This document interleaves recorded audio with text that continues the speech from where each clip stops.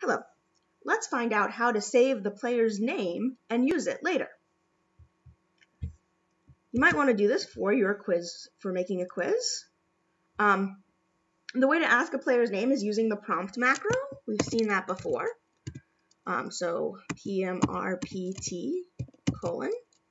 Um, prompt macro, it's important to remember, takes two things. First is the question, what's your name?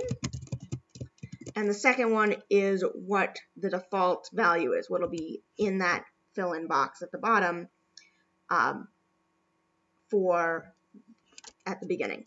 Um, we probably want this to start off blank, so we're just going to put a blank thing in quotes.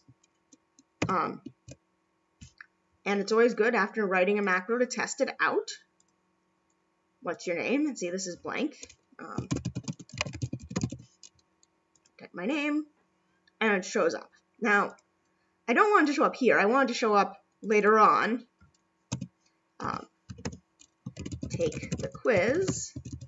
Um, uh, but I don't want to have to write the whole quiz in order to uh, test this out. So I'm going to also add a um, an option to skip to the end. Um, and I can take that out later. So right now that's sort of a nice feature that'll help me uh, test something out. Um, so what I want to do is I want to say at the end, I want to say something like, um, well, if it was me, it would be, you know, mixed fractal, you've got um, dollar score points. Um, I haven't made that variable yet, um, but except I don't want this to be my name. I want it to be whatever name somebody put in. So uh, a good variable name for that would be name um, or player. Um, I kind of like player. So I'm going to do dollar sign because all variables in Twine have to start with a dollar sign. Dollar sign player, you got score points. That's going to be the end. Um, so we can test it out. Um, typing in my name. Um, I skip to the end. Of course, it's zero, you got zero points because it hasn't saved this anywhere. So the other thing I need to do with the prompt is I need to save that value. Um, now the way we save something in a variable is we set the variable. So parentheses set. Um, again, our variable name has to start with a dollar sign. We already made the, we made we thought of what the name for this one was, which was player. Set player. To we need to use that keyword to.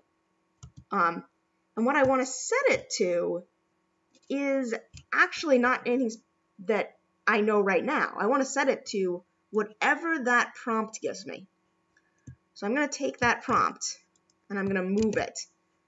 So I'm going to set the player to the result of the prompt, to the prompt macro. Um, test it out. Typing my name, gotten pretty fast at that. Set zero. Oh, there's a problem. Anybody see what the problem is? I see what the problem is. The problem is that I didn't write another closing parenthesis, so I really need to have two of those. Um, test it out.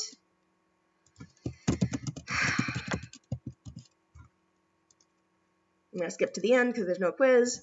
I got zero points, but it is saying my name, and if I went back and did this again and told it instead that my name was um, uh, you know, uh, best. Best, you got zero points. Yeah, okay, cool. So that's how you do that.